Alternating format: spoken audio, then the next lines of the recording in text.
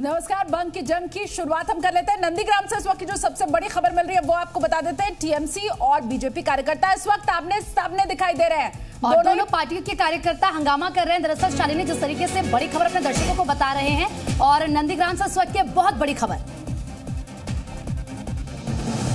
तो टीएमसी और बीजेपी दोनों ही कार्यकर्ता आमने सामने दिखाई दे रहे हैं। जम करके हंगामा किया जा रहा है। एक दूसरे पर आरोप लगाया जा रहा है और भिड़ते हुए कार्यकर्ता दिखाई दे रहे हैं आपस में।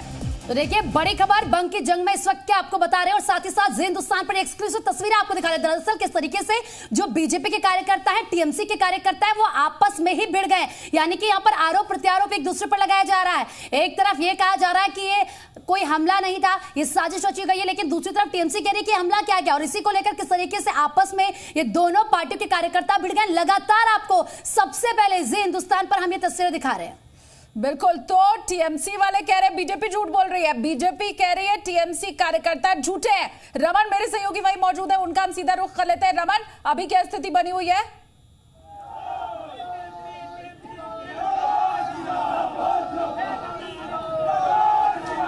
देखिए, बिल्कुल यहाँ पर इस वक्त हम यहाँ पर खड़े हैं और देख सकते हैं आप कि अब जाकर पुलिस यहाँ पर पहुँची है और थोड़ी सी शांति का माहौल यहाँ पर जमा हुआ है। लेकिन दो तरफ़ अगर देखेंगे तो दो नाराज़ है। एक तरफ़ भारतीय जनता पार्टी के कार्यकर्ता है जो लगातार, मिथ्या मिथ्या के भाषण के नारे लगाते हैं। बीजेपी जिंदाबाद के नारे लगा रहे हैं। तरफ़ आप देख सकते हैं, उधर टीएमसी के कार्यकर्ता हैं, वो भी नारे लगा रहे हैं। तो इस वक्त ये जो पूरा का पूरा माहौल है, दोनों कार्यकर्ता आपस में यहाँ पर भिड़े हुए हैं। और जिस पुलिस की बात कर रहे थे, काफ़ी देर बाद ये लोग यहाँ पहुँचे हैं। जबकि ये जो इलाका है, पूरी की तरह से जब यहाँ पर इस तरह की घटना हुई थी तो सेंसिटिव होना चाहिए था किस तरह की जाँच की आप बात कर रहे हैं, किस तरह की सुरक्षा की आप बात कर रहे हैं। और ये पूरा का पूरा जो इलाका है, इसे सुरक्षित रखा जाना चाहिए था, क्योंकि यहाँ पर मुख्यमंत्री, जो देश के सूबे की मुख्यमंत्री होती है, उसे यहाँ पर चोट लगी थी। तो यहाँ पर, लेकिन जैसे ही पुलिस आई उसके बाद सारी पुलिस चली गई कोई कोई नामो निशान नहीं। उसके बाद हंगामा शुरू हुआ, पहले टीएमसी के कार्यकर्ता आए, उन्होंने बीजेपी के कार्यकर्ता को दौड़ा दिया। उसके बाद हंगामा शुरू हुआ, थोड़ी देर बाद बीजेपी और टीएमसी दोनों के ही कार्यकर्ता यहाँ पर पहुँच गए और अपनी अपनी बातें यहाँ पर कहने लगे। यानी अब एक बीच में आप देख सकते हैं, पुलिस का एक ऑफिसर नज़र आएगा, उसके एक तरफ़ टीएमसी के कार्यकर्ता हैं, दूसरी तरफ़ बीजेपी के कार्यकर्ता हैं, लगातार नारे लग रहे हैं। लेकिन ये जो चीज़ें, ये पहले नहीं होनी चाहिए थी। और इसीलिए शायद ये सवाल उठाया गया कि पश्चिम बंगाल में जो चुनाव है, वो शांतिपूर्ण करवाना एक बहुत बड़ी चुनौती है। और इसीलिए जो जगदीप धनखड़ गवर्नर थे, वो गृह मंत्री से भी मिले थे। और ये चुनाव से पहले की बात है, आचार संहिता लगने से पहले की बात है, ये सारी की सारी चीज़ें होने से पहले की ये बात है कि जब ये पहले की बात है, जिसमें ये कहा गया, ये उससे पहले की बात है कि यहाँ पर जो है पैरामिलिट्री फोर्सेस डिप्लॉय होनी चाहिए। यहाँ पर heavy force deployment central agencies का होना चाहिए, क्योंकि ये देखिए 20 मिनट तक कोई फोर्स कोई पुलिस यहाँ पर नहीं पहुँची है, जबकि संवेदनशील इलाका था। थोड़ी देर पहले डीएमएसपी आए और उसके बाद वो यहाँ से कुछ बयान लेकर चले गए। हालाँकि उन्हें पता था कि दोनों ही पार्टियों के कार्यकर्ता यहाँ पर मौजूद हैं। यहाँ पर टीएमसी के भी झंडे हैं, यहाँ पर बीजेपी के भी झंडे हैं। तो दोनों ही कार्यकर्ता अपने नेताओं से भावनात्मक रूप से जुड़े हुए हैं। तो अगर ऐसा कुछ होता है तो उन्हें इस तरह की घटना हो सकती है। लेकिन यहाँ पर इस बात का कोई भी ध्यान यहाँ पर नहीं रखा गया और उसके बाद अब जाकर जब पूरा हंगामा हुआ तो कुछ अप्रिय घटना यहाँ पर फिर से घट सकती थी, लेकिन पुलिस बड़ी देर से यहाँ पर पहुँची और अब ये आप देख सकते हैं, इधर भारतीय जनता पार्टी के कार्यकर्ता, इधर टीएमसी के कार्यकर्ता और ये हंगामा अभी भी यहाँ पर जारी है। तो ये जो एक झूठ था तो क्या था ये? अगर उन्होंने इस तरह से झूठ बोला है, जिस तरह से यहाँ पर चीज़ें नज़र आ रही हैं तो क्या इस खेला होबे की बात की जा रही थी? क्या ये खेला होबे कहा जा रहा था कि इस तरह का झूठ फैलाया जाएगा, उसके बाद कार्यकर्ताओं को भड़काया जाएगा? और जो माहौल है, वो चुनाव का खराब किया जाएगा। तो क्या ये खेला होबे की बात थी? अगर ये खेला होबे है तो ये लोकतंत्र के लिए बहुत खराब खेल है, जिसकी शुरुआत अगर पश्चिम बंगाल की ज़मीन से होती है तो ये बिल्कुल भी पश्चिम बंगाल की अस्मिता, पश्चिम बंगाल की संस्कृति और पश्चिम बंगाल के कल्चर से जुड़ी हुई बात नहीं है। और अगर ये खेला होबे है तो ये बहुत ही खराब खेला है, जिसकी शुरुआत अगर राजनीति में होती है तो ये बिल्कुल खराब है। क्योंकि राजनीति में अगर आप यहाँ से फिर से रक्त चरित्र की शुरुआत करते हैं तो इसके लिए आपका नाम नहीं जाना जाएगा, ममता दीदी, ये बहुत ही गलत है। क्योंकि यहाँ जो स्थानीय लोग थे, जिनसे पहले बात हुई, जो ना टीएमसी के थे, ना जो बीजेपी के थे, उन्होंने कहा कि खंबा था, खंबे में चोट लगी। और कोई भी जो थोड़ा भी मुख्यमंत्री की सुरक्षा को जानता है, जो सारे प्रोटोकॉल्स को जानता है, वो अच्छी तरह से जानता है कि मुख्यमंत्री की थ्री टायर सुरक्षा व्यवस्था को झेड़, छोड़ते हुए वो भी उनके इलाके में, जहाँ उनके इतने कार्यकर्ता हैं, कोई कैसे हमला कर सकता है? तीन या चार लोग आके कैसे हमला कर सकते हैं? इससे तो पूरी तरह से फेल्योर आप मानेंगे ये सारी सारी तस्वीरें आप देख सकते हैं और ये यहाँ पर यहाँ पे यहाँ पर आप देख सकते हैं। आप तो सर बड़ी देर से आप आए इतनी सेंसिटिव इलाका था तो आप देर से क्यों आए? आपको पहले से नहीं रहना चाहिए था। अब अब आप हमें हटा रहे हैं यहाँ से। आप पहले कहाँ थे जब हंगामा हो रहा था? आप थे कहाँ? कहाँ थे आप? आप क्यों नहीं थे यहाँ पे?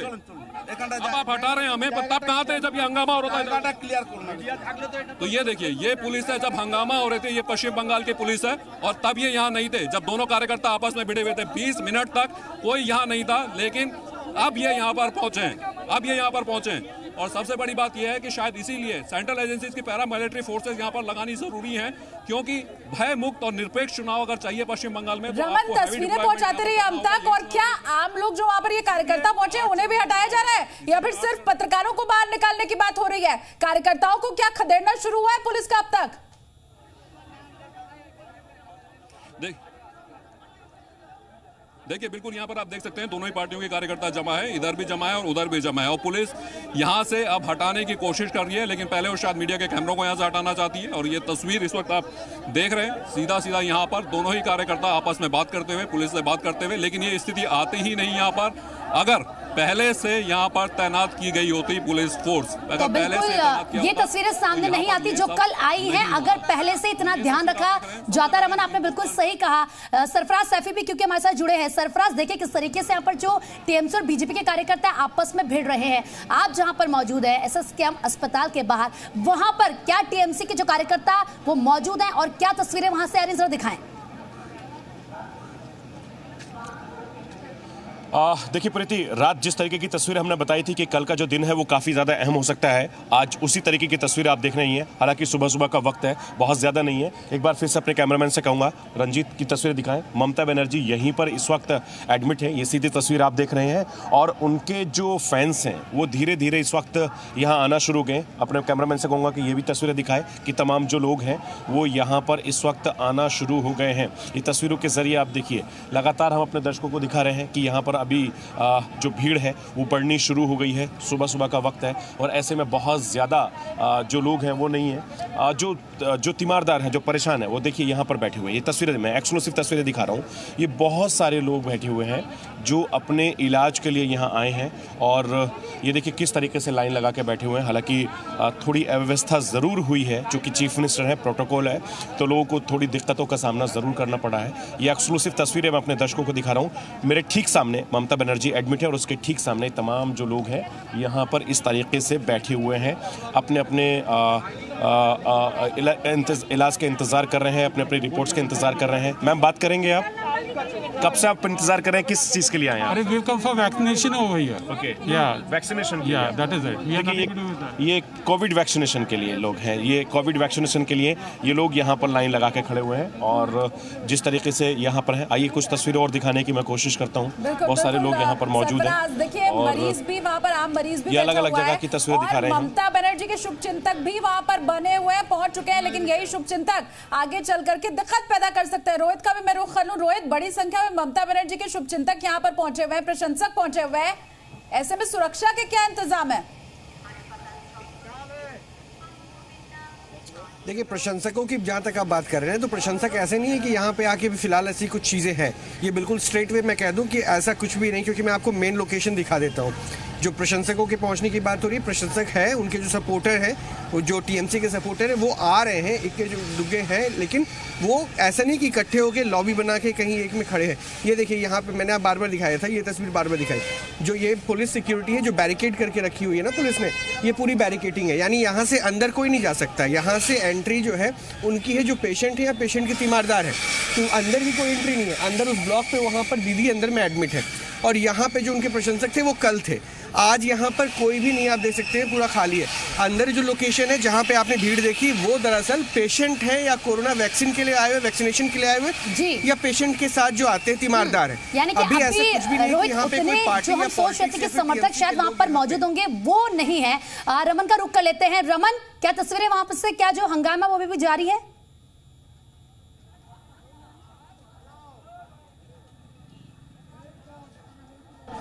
देखिए, बिल्कुल बिल्कुल, इस वक्त हम यहाँ पर मौजूद हैं और अब यहाँ पर पुलिस आई है, थोड़ा सा माहौल शांत हुआ है, लेकिन जो कार्यकर्ता हैं, वो भी अभी यहाँ पर मौजूद है। ये तस्वीरें आप देख सकते हैं, एक तरफ़ टीएमसी के कार्यकर्ता, दूसरी तरफ़ भारतीय जनता पार्टी के कार्यकर्ता। हालाँकि अब थोड़ा समझाने की कोशिश की है पुलिस ने, कुछ पुलिस वाले यहाँ पर पहुँचे हैं और अब थोड़ा सा माहौल यहाँ पर शांत होता हुआ दिख रहा है। अगल बगल कार्यकर्ता अभी भी मौजूद है, दोनों पार्टियों के कार्यकर्ता यहाँ पर मौजूद हैं। लेकिन जब सबसे बड़ी बात यह है कि जब आठ चरण में चुनाव होने की बात हुई थी तो ममता दीदी ने पूरा हंगामा किया था, कहा था कि ये ऐसा नहीं होना चाहिए, आठ चरण में क्यों चुनाव हो रहे हैं तो शायद अब ये बात समझ में आ रही होगी पूरे देश को कि आठ चरण में पश्चिम बंगाल में चुनाव क्यों हो रहे हैं? क्योंकि बेहद ज़रूरी ये होता है चुनाव आयोग के लिए कि जो चुनाव है, वो शांतिपूर्ण तरीके से हो निरपेक्ष तरीके से हो, ताकि कोई भी आदमी अपने मताधिकार का प्रयोग बिना डरे कर सके। और ये पूरी घटना मैं फिर से अपने दर्शकों को बताना चाहूँगा कि यहाँ पर क्या हुआ है। कल यहाँ पर दीदी पहुँची थी। दीदी यहाँ पर हल्दिया से नॉमिनेशन करके यहाँ आई। उसके बाद उन्होंने अपना यहाँ पर जो रोड शो है, वो करने शुरू किए। बगल में ही एक मंदिर है, वहाँ से वो दर्शन करके निकली और ठीक मिठाई की दुकान के पास उन्होंने गेट खोलने की कोशिश की। जैसा कि स्थानीय लोगों ने बताया, और वो गेट का दरवाज़ा उनके पाँव पे लगा, उन्हें चोट लगा, उसके बाद एक जो उन्होंने कहा, अब टीएमसी के नेताओं का कहना था कि उन्हें चोट लगी गई, घेरा गया और सुबह जब हम यहाँ पे पहुँचे, स्थानीय लोगों से बात की तो उन्होंने कहा कि ये झूठ कहा गया है। फिर उसके बाद बीजेपी के कार्यकर्ता है फिर टीएमसी के बहुत सारे कार्यकर्ता जमा होते हैं और हंगामा करके स्थानीय लोग जो बोल रहे थे, उन्हें कहते हैं कि आप हट जाइए वहाँ से और उन्हें भगा देते हैं। थोड़ी देर बाद दोनों ही पार्टियों के कार्यकर्ता यहाँ जमा होते हैं। लेकिन तब तक पुलिस का कोई नामो निशान यहाँ पर नहीं होता है। जबकि जाँच की बात की गई है क्या मुख्यमंत्री को जिस जगह पर अगर मुख्यमंत्री कहती हैं कि भाई यहाँ पर चोट लगी है यहाँ पर कुछ लोगों ने मेरे साथ घेरा है मुझे और उसके बाद हमला किया है ये कोई साजिश है तो यहाँ पे क्या पुलिस फोर्स तैनात नहीं होनी चाहिए थी? क्या सिर्फ़ यहाँ पर फॉर्मेलिटी के लिए डीएम और एसपी को आना चाहिए था और उसके बाद चले जाना चाहिए था? बीस मिनट तक हंगामा होता दोनों कार्यकर्ता आपस पर प्रत्युष क्योंकि जुड़े हुए हैं। टीएमसी दफ्तर के बाहर ही मोए तो उनका भी रुख कर लूँ प्रत्युष देखिए एक तरफ़ तो बौखलाहट टीएमसी कार्यकर्ताओं में इसलिए भी है क्योंकि ममता दीदी की तबीयत खराब है और वहीं दूसरी तरफ़ अब उन्हें झूठा बताया जा रहा है। इससे लेकर भी नाराज़गी हो सकती है। माहौल क्या है टीएमसी दफ्तर के बाहर का? देखिए जी हिंदुस्तान एक निष्पक्ष चैनल है और हम जो रिपोर्टिंग कर रहे हैं ट्वेंटी फोर इंटू सेवन इसलिए हमारी भी ज़िम्मेदारी बनती है कि जो भी खबरें हैं, वो हम सही तरीके से लोगों तक, दर्शकों तक पहुंचाएँ। ये तृणमूल भवन है, ये टीएमसी का मेन दफ्तर है कोलकाता का, जहाँ पर मैं इस वक्त मौजूद हूँ। मेरी जो टीएमसी के नेताओं से बातचीत हुई, हमने कहा, क्या ऐसी कोई प्लानिंग है क्या कि आप लार्ज स्केल पर यहाँ पर प्रोटेस्ट करेंगे? उन्होंने कहा कि नहीं, ऐसा कुछ नहीं है। हमने कहा हावड़ा पूर्वी मिदनापुर से जो इस तरह की कुछ खबरें आई। बोले, हो सकता है कि लोकल यूनिट जो वहाँ की इकाइयाँ, उन्होंने प्रोटेस्ट किया हो, लेकिन हमारी तरफ़ से ऐसा कोई कार्यक्रम नहीं है। आपने देखा कि सारा जो फोकस है, वो शिफ्ट होकर नंदीग्राम चल गया है, जहाँ से रमन आपको तस्वीरें दिखा रहे हैं, जहाँ पर बीजेपी और टीएमसी वर्कर्स के बीच में आपने देखा कि कहा सुनी हो रही थी, पुलिस भी वहाँ पर इंटरवेन कर रही थी, लेकिन संख्या सपोर्टर्स की ज़्यादा थी। तो वहाँ पर ज़्यादा बवाल है। कोलकाता की अगर बात की जाए तो कोलकाता में इस वक्त कहीं कोई बवाल, कहीं कोई विरोध प्रोटेस्ट नहीं है। ममता दीदी अस्पताल में है 48 घंटे के लिए उनको अंडर ऑब्जर्वेशन रखा गया है। चुनाव आयोग ने इस पर रिपोर्ट मांग ली है। अब आगे सबसे बड़ी बात है कि आज टीएमसी का मैनिफेस्टो घोषणा पत्र जारी होना था, जो कल ममता दीदी को चोट की वजह से अब टाल दिया गया है। अब ये कब नई तारीख आएगी, ये भी जल्दी टीएमसी की तरफ़ से बताया जाएगा कि अब मैनिफेस्टो इस चुनाव के लिए कब यहाँ पर जारी होता है। लेकिन फ़िलहाल जो कुल मिलाकर स्थिति है, अभी तक कहीं पर भी कोलकाता में कहीं विरोध प्रदर्शन टीएमसी की तरफ़ से नहीं किया गया है। मैंने बार बार पूछा कि कहीं ऐसा तो नहीं है कि दोपहर बाद या शाम में इस तरह का बवाल हो? उन्होंने कहा आप देख लीजिए आप खुद देख लीजिए कहाँ पर बवाल हो रहा है। सड़कें आप देख लीजिए गाड़ियाँ आम दिनों की तरह आ जा रही हैं। कहीं कुछ नहीं यहाँ कल इक्का दुक्का प्रत्युष, कल दीदी को नंदीग्राम से लाया गया था कोलकाता अस्पताल में तो उस वक्त कुछ बिल्कुल। प्रत्युष आप लगातार नज़रें बनाए रखिए आपसे पल पल के अपडेट हम लेंगे लेकिन